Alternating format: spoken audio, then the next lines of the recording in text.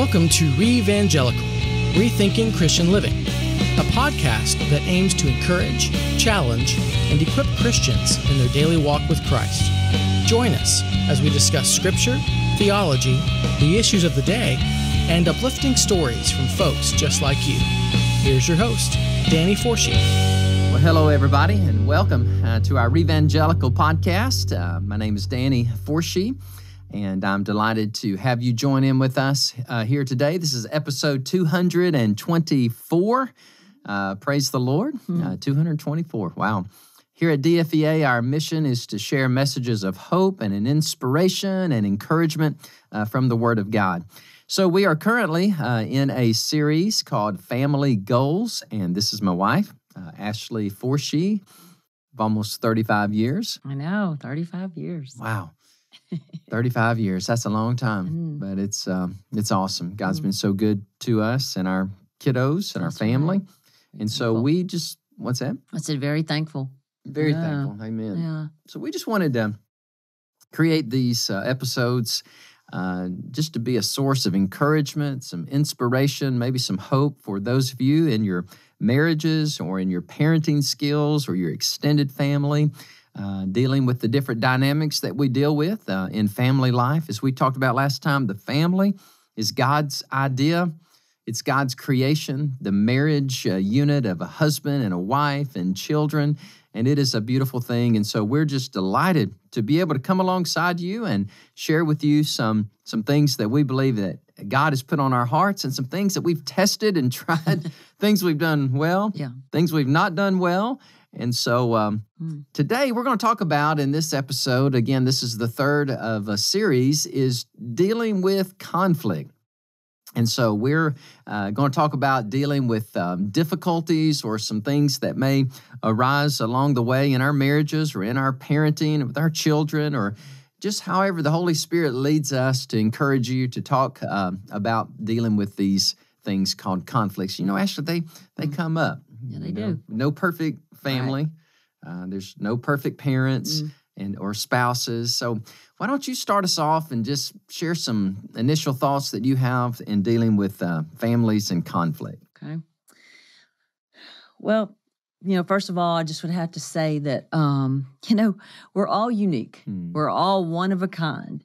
and, you know, when you think about that, is like, I think about in your own opinion about things and how you feel about things. It's like, you got to realize, okay, your spouse, or especially I'm talking about here more like with me and with me and you, is like, you know, you also can have a different thought or different idea, you know, and so I think we have to recognize that as like, okay, he, we're not the same person, and so you need to be respectful of, you know, recognizing that they are going to, you're going to have a different thought or different opinion, and so, uh, you know, I just think it's important to first of all to recognize that, and also to recognize, I think, um, and I think about just conflict is that. Um, you know, especially with your spouse, this is the person you choose you chose to spend the rest of your life with. Yeah. This is a you know, y'all had we had things that we believed in and were common goals. And so with that, I think when we get in that mode of you know, thinking that okay, my way is the right way or whatever, it's Yeah. like give your spouse a break, you know, or it's like, you know, a- and, you have to be mindful of that, I think, because he's not perfect. I'm not perfect. But you know what? We can come together and, you know, and talk about things and Yeah. work through things. And, you know, I think about in our own life. I mean, I have to say, we're I'm very fortunate because, um, you know, most Danny and I over the years, we really Mhm. haven't argued a whole lot. But I, Mm. I will also say that Danny is very good about asking me questions and trying to get it out of me. I would say, especially when we were first married, I, I mm-hmm. probably was one that kind of kept it more inside a little bit and Yeah. but also wanted to be real careful what I said and Yeah. how I would say it. And so, but in doing that, sometimes I could probably hold it in too much. Hmm. Yeah. And so, and I think, you know, after being married almost 35 years, we've just learned, Mhm. you know, um, to have that open communication and Absolutely. and work through it and you know and sometimes i think you can go for a while and you know you can kind of uh, um, revert back sometimes to you Mhm. know really the way maybe again for me it would be probably keeping it to myself a little more and you would have to pull it back out of me or whatever and so Mm-hmm. Yeah. you know that's what you know again i'm just thinking that um it's just a cool thing how god puts people together and and we're not the same Right. we are different and so you work at it together um you know i think some of the things i think about go ahead i can tell you one No, no, I was just Yeah. thinking about the the little statement you've heard that says opposites attract Mm. and then they attack. And unfortunately, there's Mm. some truth to that.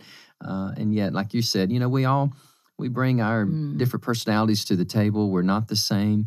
Um, you know, we, but we come together and with Christ in the center of our lives, absolutely you know, and, and we love each other unconditionally and strengths and weaknesses.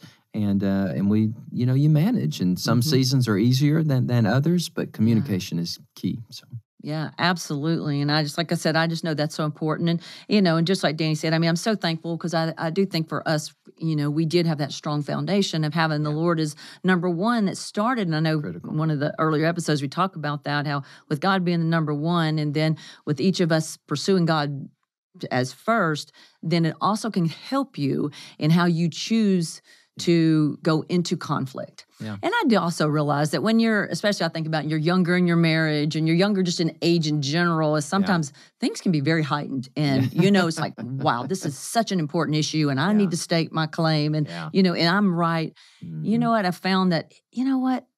Even though you might be right, but if you say it in a way Yeah. that is not very kind or mm-hmm. demeaning or something like that, then it really doesn't matter if you're right or not Yeah. because you, it, you know, and you know, I can just see where that can be. Sometimes strong-willed personalities can be that way. It's like you know, they're coming, you're coming Yeah. together, and You can be right and wrong at the same time. right. You know, right in what you yes, you know are saying, but in the attitude in which it's said. And, yeah, and a lot of times, I think young married couples are, you know, they're they they just feel the need they have to defend themselves and speak up every time. And through the years, you're like, that that really doesn't matter as much. You know, just kind of let it let it go. So exactly. And I think that's what you know. We've kind of that's one of the things. I even with raising kids, I think about is Yeah. like you know when especially you know you think about your first child compared to your Oh, third child. Um, you know, I think about with our daughter Hannah is like I mean I had everything so precise and this is the way we're going to do it and you know the discipline and and what was expected and then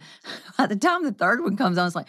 You know, that's really not that big of a deal. It's not that big of a battle, you know, and it's like Right, you got to figure out what really is important.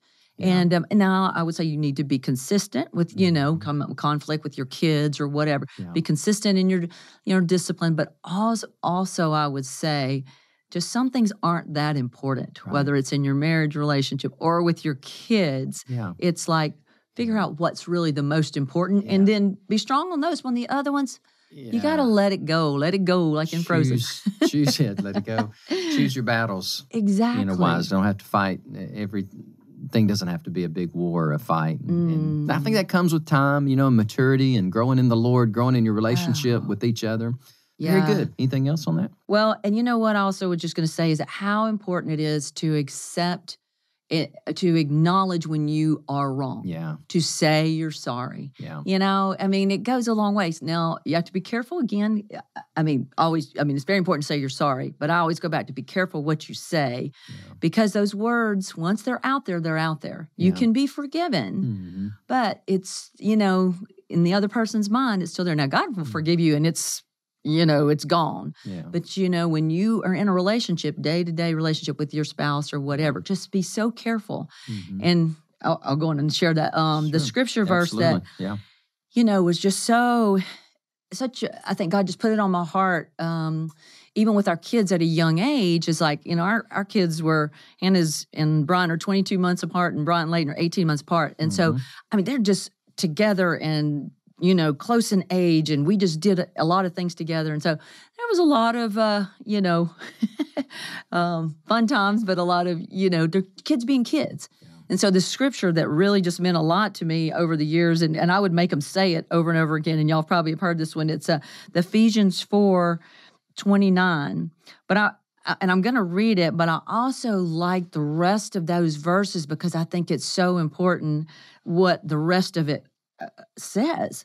But this is the one that we I would I would tell my kids, okay, when when y'all are arguing and stuff, it's um Ephesians 4:29, do not let any unwholesome talk come out of your mouths, but only what is helpful helpful for building others up according to their needs that it may benefit those who listen. So this is definitely this was for my kids, but it's also I mean that's definitely also for your Yeah. for your spouse. I mean it's Yeah. so important to be careful what you say and how you say it. But this is the rest of it, and especially as a Christian. Um, and then it goes on in verse 30 and says, And do not grieve the Holy Spirit of God, with whom you were sealed for the day of redemption. Yeah. Get rid of all bitterness, rage, and anger, brawling and slander, along with every form of malice. Be Mm-hmm. kind and compassionate to one another, forgiving each other just as in Mm, Christ God. God forgave you. Yeah. So it's, I do think it really does help, you know, like I said, with Mm. when God is your first, you know, and He's the most important, and then in like your relationship with your spouse and your kids, and Mhm. you know, you you want to make sure your relationship with the Lord stays open, and you know, like I said, as a Christian, you can't break the relationship, but you can break your Yeah, sure. fellowship. Yeah. And so that would be something I would encourage you as with your with your spouse and with your children being Yeah. careful and recognizing when you're wrong, admit it. That's good. And so anyway, That's very good, dear. Mm. I, I think about somebody may say, well, why even talk about, you know, bringing up conflict because Mm. it's real. it is real. We deal with it. Every there's no perfect marriage or That's right. family, and so uh, especially as followers of Christ, we are going to be pursuing Mm. the Lord to be different from the world. We have an enemy that hates us, that hates our marriages, our families. Try everything in his playbook to try to derail us and hurt us. So Ashley and I are just coming alongside Yeah. you today, and we're just hoping to build you up and Exactly. bolster your faith, encourage you in your communication skills, in your patience, in your forgiveness, in your understanding. I think about, you know, the love languages, Ashley, and Mm. how important that is to know your spouse's love language or even your children's uh, Absolutely. love language. Of course, talking about Gary Chapman's wonderful book, The Five Love Languages, and understand, you know, how the other one thinks and how you might be able to speak life into that area and maybe avoid uh, some some other areas.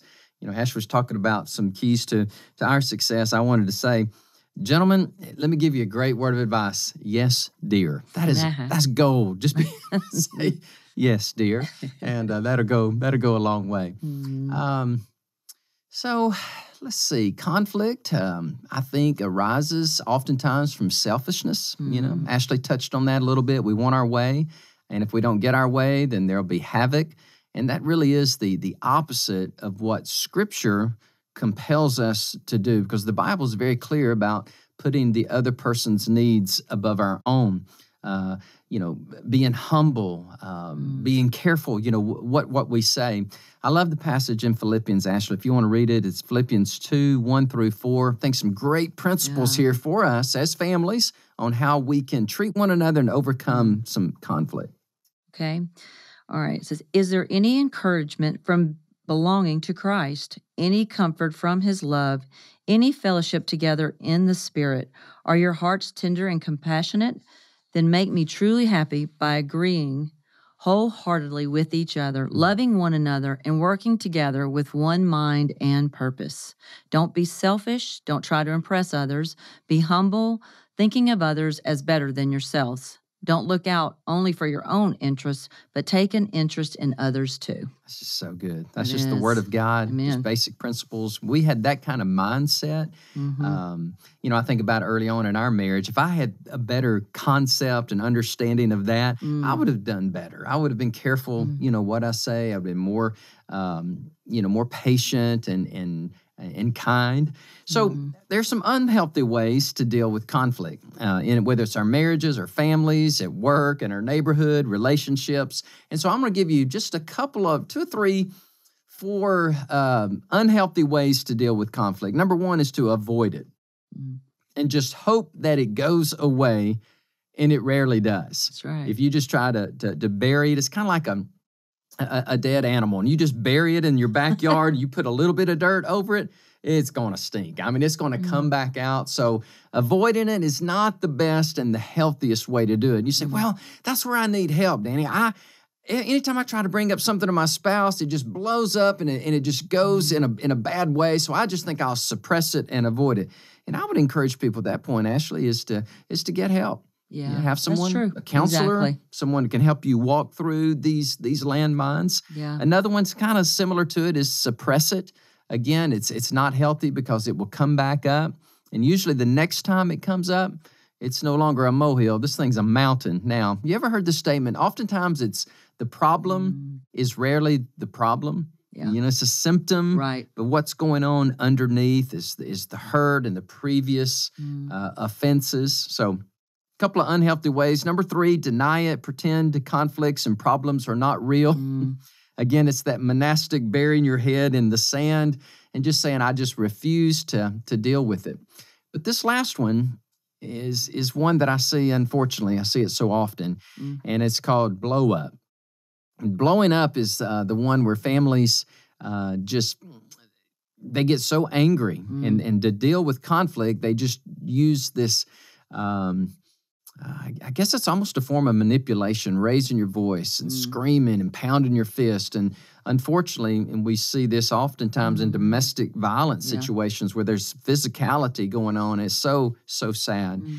You know what breaks my heart on that, Ashley, is when that happens in families between husband and wife, of course, the children see that Yeah. and that's probably the way they're going to treat their spouses but also how we treat uh, you know our children if we if we blow up and just are angry and like dynamite and people are walking around on egg, eggshells it just creates a really unhealthy atmosphere Mm. last week ashley and i were in uh, florida and we were attending a conference and the first day of the conference i had to miss because i thought i had covid. I hadn't been tested yet and i started coughing and my back was hurting and my mm. head was hurting and i was like man this is terrible.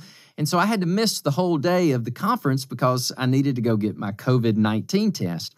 And Ashley, I just appreciate you. Mm. She she just stopped what she was doing. I mean, she was going to spend the day, you know, having having fun, no shopping around a little bit. She spent the whole day with me, just helping me get to the clinic, get tested. And I think it's when you maybe walked off to the store by yourself a little bit, and there was a family there, and I Mm. and I just felt so bad for this family. It was a, it was a mom and a dad and two small children. Mm. They're from New York, and they had to get their COVID test Yeah. uh, because of their travel. And the mom talked to me a little bit. She said, Yeah, if we get our test and it's negative, we only have to quarantine in New York four days. Wow. If we don't get the test, we have to quarantine for 10 days. Well, mm. they were already getting a little impatient. The kids were getting a little, um, you know, a little fidgety. I mean, they're mm. probably 10, 11 years old, six and seven years of age. It's a husband and a wife and a brother and a sister.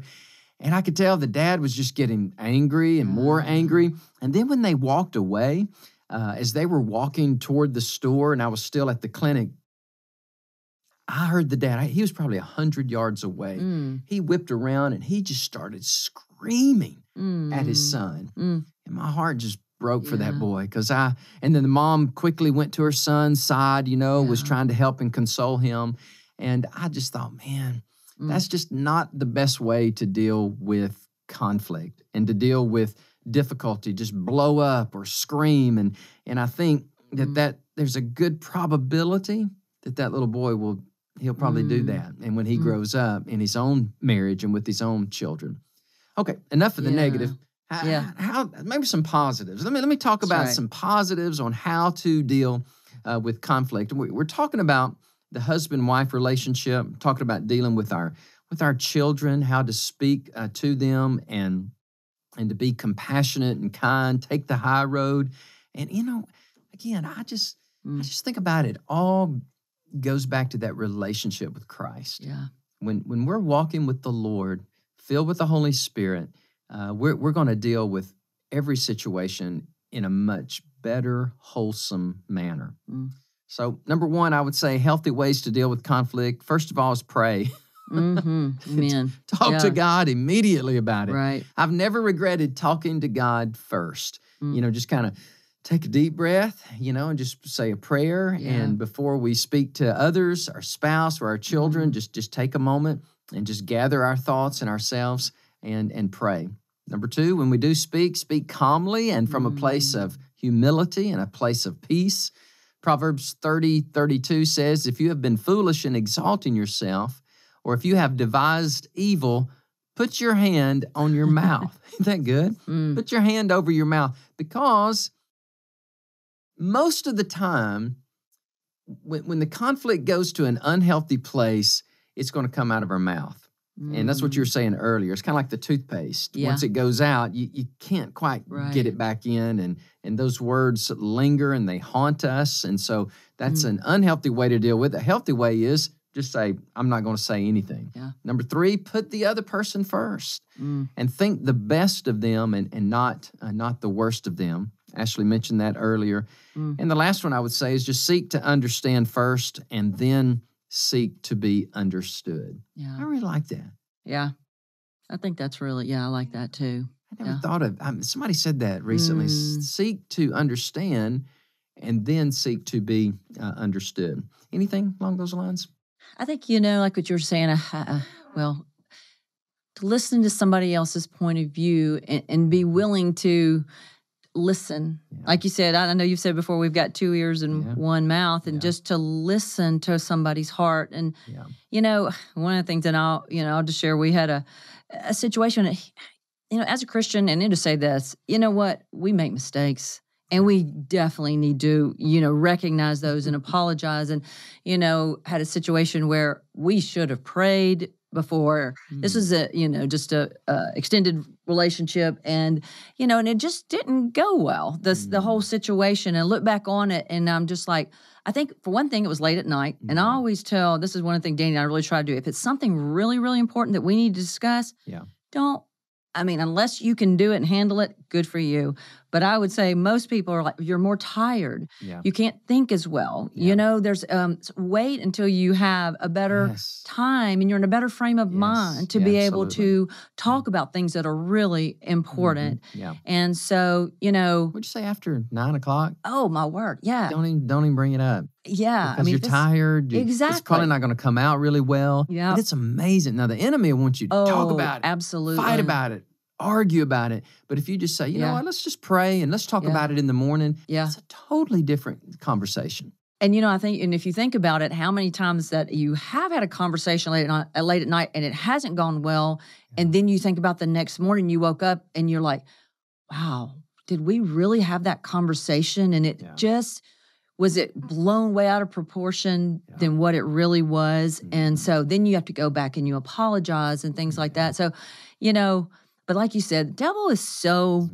manipulative mm-hmm. and he is always waiting for your moment of vulnerability or Yep. you know and so when you're not thinking the way you should be thinking and then that's when he likes say oh wow can you believe they said that? or can you believe they did that? and it's like oh you know you definitely need to share your opinion and Yeah. you know have it be made known. No you don't you know Mhm. what? I mean, it's just like, especially, I know, like we were saying, is, you know, just to take the time to, one, to, especially like with family and, you know, and your spouse and your children, it's like, this is the persons, these are the people you, especially with family, you love the most, Most, and you yeah. don't want to hurt them. Mhm. And so, and words, you know, words matter. I mean, you're talking about in Proverbs, there are so many scriptures in Proverbs, and it talks about the mouth and being careful what comes Mhm. out of your mouth. And yeah. so I just encourage you, and I don't want this all to be negative, it's positive in Yeah.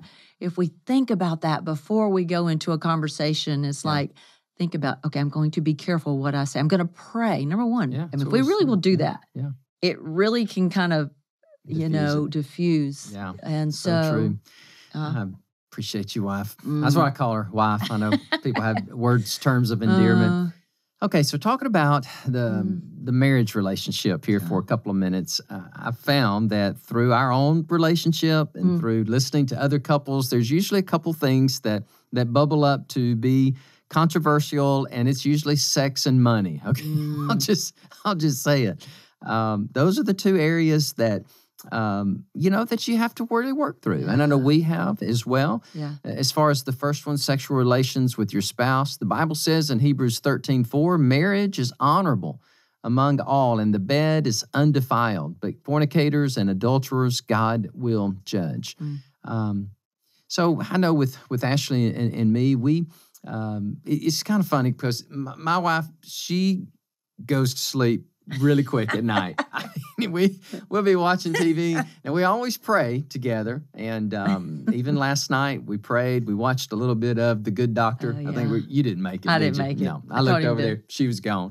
a lot of times we joke with each other, and I'll start Uh-uh. counting 10, 9, 8, and she'll say, "Stop, stop," because in ten seconds she'll be out. So our best time for intimacy is not going to be at 9, 10, 11 o'clock. So you got to work it out. You got to find out when your best time would be. And for us, it's other times besides nine. How's that? That took us a while Yes, it did. to figure that out. Right. And so we kind of, you know, work through that and you communicate with one another. You know your spouse Yeah. and you know their love language and um and I know I've talked about that a lot, Mm. love language and and it's um you know, it's important. I mean, Yeah. mine's words of affirmation, physical touch. Ashley's is acts of service and quality time. Mhm. And so, uh, again, you, we're talking about overcoming obstacles, overcoming discouraging, conflicting issues. So, we talk about sex a little bit. What about money? Mm. You know, money's a big deal. yeah. And couples come into the marriage relationship with different convictions and thoughts about money. Some are very inclined to save all they can. Some are more inclined to to give all they can. Some are more inclined to just spend it, Mm. you know, how, however they would um, that they choose to. Uh, I was thinking about um, Ashley and I were were traveling just a few weeks ago. We were in uh, Colorado and we were traveling uh, to Arizona. uh, yeah, Arizona. Yeah, that's right. Um, It's close. I know it is close in geography, isn't it? But we were driving down the road and, and we were listening to a Carey Nieuwhof podcast on. Um, remember Rachel Cruz yeah. was being interviewed by Carey Nieuwhof. Her dad is Dave Ramsey, Mm. and they were talking about money and how some are more inclined to to save, others are more inclined to spend. And I really like that book. In fact, I wrote the title of the book down. It's called Know Yourself, Know Your Money. Mm. And it, like I said, it it really just helps couples and just understand uh, more about money and how what they think about it. Because come on, it it I think most couples deal with that. That Yeah. they deal with the struggle, you know, Mhm. with how to treat money, and it oftentimes can come up the financial disagreements. And so I don't know. Just want to send that out to you. Maybe it helps somebody. Yeah, I agree. So I think it's just good. I know we've had to work through that over the years. Uh, you know, of course, being the mama and uh, with the kids, you know, sometimes I would have a tendency, you know, just probably to spend more than necessarily should. But Danny, he would help me, and uh, we would Mm-hmm. work through it. And so, and I appreciate it. He always was- kind, and so Well, most of the time. I'll say to your your point is, you know, I could be to the point of just working hard and saving Mm. and not having fun. And so Ashley's Mm. like, you need to lighten up. We need to go spend some money. And I'm like, okay, you know. And so Mm. and it, it works, you know. We Yeah. kind of bring the each other to the center and, and balance one another out. So Yeah. overcoming conflict. This has been fun. Yeah. And I'm grateful to God that He's um, you know, that He's Mm. helped us so much. And I hope some of the things we've shared today has helped others. Yeah, I agree. And you know, I, I just want to say one thing Yeah, back sure. to the uh, to the the whole thing with the um, with couples, and I know you you touched on it, but also Mm-hmm. it's, it's so important. Like if people are really going through very difficult conflict, there is n- do not feel bad if you need Uh-huh. extra help. Yeah. Go to counselors. Yeah. You know what? And I'll just say, and it's really kind of cool. And you know, both of our two of our um, kids before they got married, they went to, and, and a lot of times I do, I do realize people go to Christian counseling and are counseling before they get married. Mhm. But they've, con- I mean, I, I know um, one of them definitely has continued on because sometimes you just need a little, you need a Sure. third, you know, Sure. opinion that doesn't, um, you know, that's not biased in any way. And Yeah. so there's nothing wrong with that. And a lot of times it's good. It's just healthy. Yeah. So one of them Yeah, so dear cool. couples in the church. Oh, church. absolutely. They uh, they have a great marriage. Yes. They go to counseling, yeah, and they're like, well, a lot of it's preventative. absolutely. And so I, I'm glad you brought that Yeah. up. And so there's no shame in that. absolutely. Um, having Christian counselors help you Yeah. through some difficulties, or maybe even some some maintenance and some Right. preventative things. So Yeah. great. Well, thanks Okay. again for listening. And uh, we look forward to next week as Ashley and I will seek to uh, give some answers to some of your questions that you gave us on social media dealing with the family. A lot of people uh, think asking God questions is a sign of weak faith, but I'm telling you, there is nothing could be further uh, from the truth. I love right. to ask questions and I love to, Amen. God gives me the grace and strength, I love to be able to try to help give answers to the questions that people are, are asking. Mm. God welcomes our big questions about life. Um, I'd love to encourage you with his answers by sending you a seven part series that I did called Explore God. Mm. And you can find out how to get your copy at dfea.com. Again, it's dealing with some of the big life questions Is God real? Uh, is the Bible really the Word of God? What do we do about pain and suffering? And so we make those available to you there. You can support us at dfea.com and get your uh, copy of the series. Well, thank you again so much for listening to us on REvangelical. I want to say a quick prayer for you and for us. So, dear, let's pray together. And Father, we thank you so much for each person uh, that has listened to our episode today about dealing with uh, conflict and overcoming these obstacles, Lord. I just pray in Jesus' name that marriages would be helped, encouraged, that parenting skills, Lord, would be sharpened, and that God, you would bless and bless these dear couples that are listening. Bless our single adults. God, thank you for them and their passion for you, and they're waiting for you to send them uh, the person that you have for them. So we just pray, God, for peace and joy and an overflow to each person who has listened in today. In Jesus' name we pray. Amen. Amen. Thanks for listening to REvangelical. We hope today's episode has edified and enhanced your walk with God. Don't forget to subscribe to the podcast on iTunes, like us on Facebook, and follow us on Twitter. We'll see you next week.